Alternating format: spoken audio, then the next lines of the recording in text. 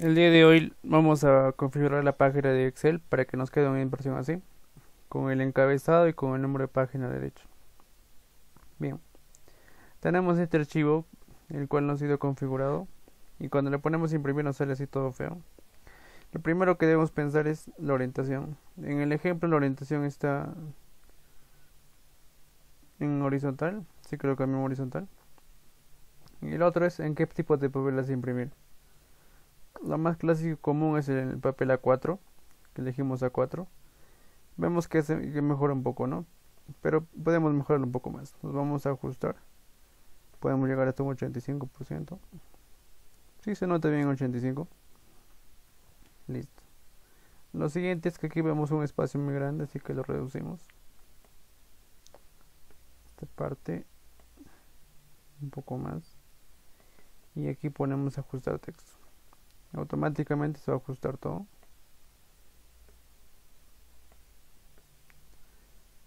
Listo. yo solo quiero que me salga este programa como en el ejemplo. Corroboramos y nos, sale un poco mejor. Vamos a elevarlo un poco más un 20% ahora está mejor. Lo siguiente es poner si Pasamos a la siguiente página, nos sale todo feo acá, no tiene número y no tiene el encabezado. Para poner en el encabezado vamos a diseño de página, imprimir títulos y nos vamos aquí donde dice repetir filas extremo. Seleccionamos hasta aquí hasta el encabezado, damos enter y aceptamos. Aplastamos imprimir y nos sigue, nos da mejor, ¿no? Yo solo quiero hasta la parte de programas y como ven llega hasta la página 7 página 7 y pero yo, yo quiero que el momento de imprimir me, me, diga el número. Entonces vengo aquí configuración encabezado pie de página y luego personalizar pie de página. Yo quiero el lado derecho. Vengo acá y está. También podrías poner la fecha no puedes poner la fecha Ya listo. Vamos a poner que es la fecha. Aceptamos. Y damos aceptar.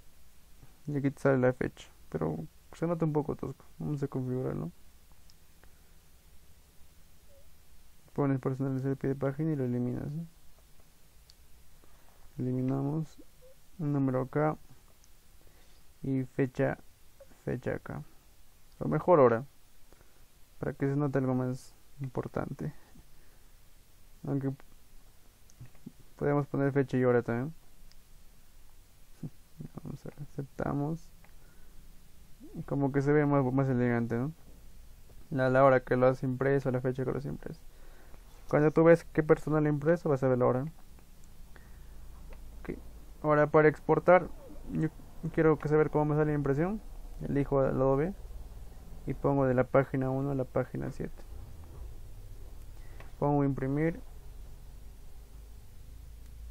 ponemos prueba no prueba 2 y guardamos. Esperamos un momento. Y está listo. Este era nuestro ejemplo. Y esto es como nos ha salido. Como ven nos, nos ha salido mejor. Aquí se aparece la hora la fecha de la impresión. Y el encabezado, ¿no? Y coincide en la parte de arriba también aquí está la fecha. Y eso sería todo por hoy.